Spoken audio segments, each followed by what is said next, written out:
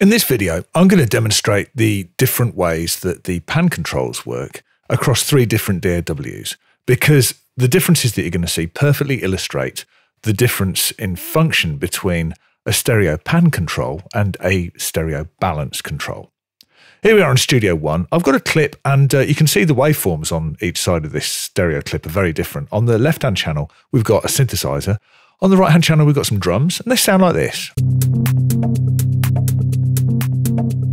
Okay, and what I'm going to do is I'm going to take this pan control, and we see the tooltip come up. It describes it as a pan. If I pull it left,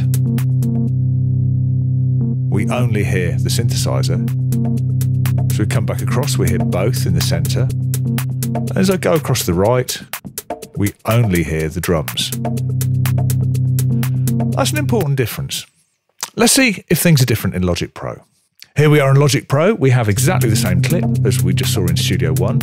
And if I come down to this pan control down here and uh, I pull it over to the left, we hear something different. We can still hear both channels. Their positions have changed, but they're both audible. Going over to the right, we hear the converse and we hear a change in position and of spread as well, which is what's being indicated, the stereo width being indicated by that green surround, which you can manipulate directly. So we hear something different. Okay, what happens if you right click on here and you get this option to change between pan and balance? If we go again in balance, we hear what we heard in Studio One with only one channel audible at a time. And what we're hearing here is it's it's it's similar to a crossfader on a DJ mixer, where we're crossfading between the two channels and the the one we're panned away from, if you like, disappears and becomes inaudible. So we have the option of both in Logic Pro. And also with the help of this context menu, we're seeing that uh, the one that we heard that was labeled in Studio One as, as pan is actually balance. And we've got the option of both here. Returning to Studio One for a minute, uh, here we are in version 6 of Studio One. And if we return to this panner, if we double click, we see that we've got the same options that we just saw in Logic Pro. So we can change things over to a dual panner and get a identical functionality. And we have a binaural mode, which we won't refer to here. But the default in Studio One is balance. Let's see how things are in Pro Tools. And here we are in Pro Tools. So we've got this familiar loop,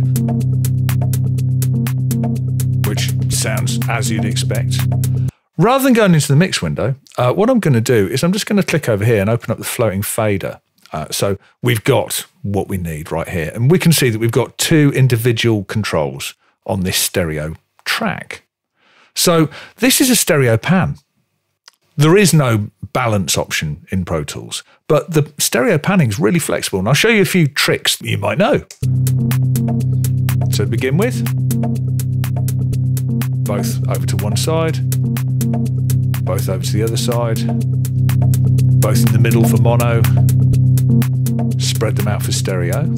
Uh, you can click this here, which is like a link thing, and then what you get is you get nothing like that, but if you do this, they link and they move together, which is kind of useful.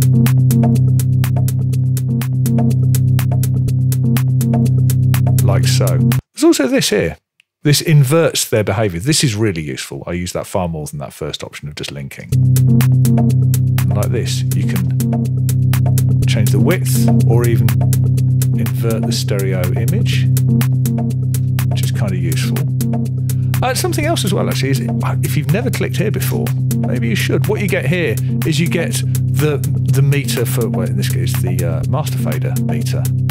Uh, master faders are always there whether you've created them or not. And with this, it's quite nice because you can see very clearly what's going on.